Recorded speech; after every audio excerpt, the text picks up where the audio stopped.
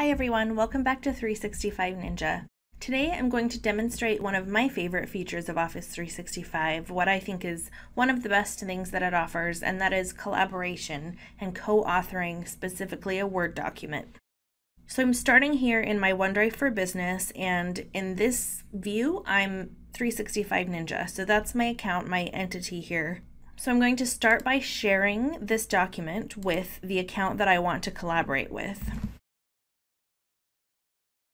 So I'm going to share it with my Rachel Wilson entity. You can see that's outside of the Ninja organization. And I'm just going to add a message and send this as this invitation as an email. And now I'm going to actually open that document as 365 Ninja and begin editing it. So now as 365 Ninja, I'm going to just make a couple changes and we can imagine that I'll continue editing from here. So meanwhile, I'm going to switch over to my Rachel Wilson identity.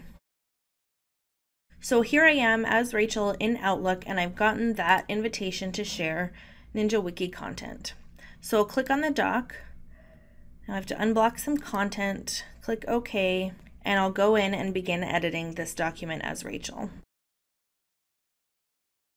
Now immediately when I open it up, you can see that I got the notification 365 Ninja is editing this document. I can see the same information up in the upper right hand corner, and I can even see where that other person has their cursor. I can see that they're working on the end of that second to last paragraph. Now I can make my own changes. Let's change the font color, add another paragraph, maybe I'll even add a comment.